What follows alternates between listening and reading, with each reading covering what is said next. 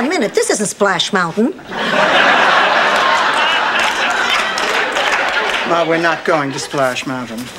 I want you to meet Dr. Halperin. He's Stan's psychiatrist. Mrs. Petrillo, I've heard a lot about you. Lies, all lies. yes, I wanted a boy, but slowly I learned to accept her. I just meant it was nice to meet you. Oops. Please sit down. Ma, as you know, Stan's been having difficulty making it on his own. Dr. Halperin believes that you can help him in his struggle to separate from me. Sure, I can. Stay away from my daughter, I'll have your legs broken. Ma, will you try to be serious? I mean, where are you going to get the $400?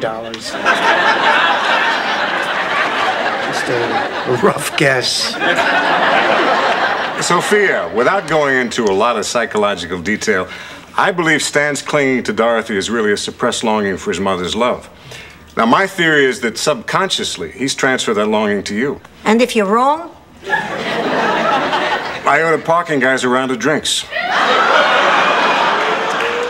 Look, Ma, tell Stan you love him. He'll be out of our lives forever. you don't even love him. How am I supposed to? I'll give you a $1,000. Sonny boy!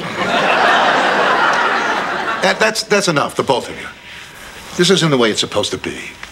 If it isn't real, what does it mean? Let's just forget it. What, you surprised? I'm supposed to love you? Oh, sure, Stan. I love you. I love you for knocking up my daughter when she was 17 years old. For sponging off Sal and me for eight years. For cheating on Dorothy left, right, and sideways. Oh, yeah. I love you. Sophia, listen. I know I always haven't been the best son in law, but I've got other memories, good memories.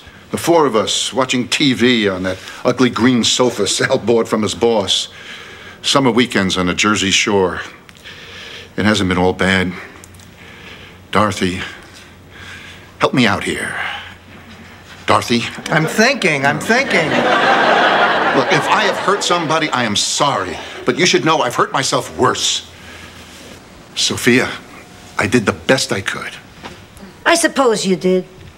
Can't you find it any place in your heart to forgive me? Any place in your heart when you love me? Have you loved me ever?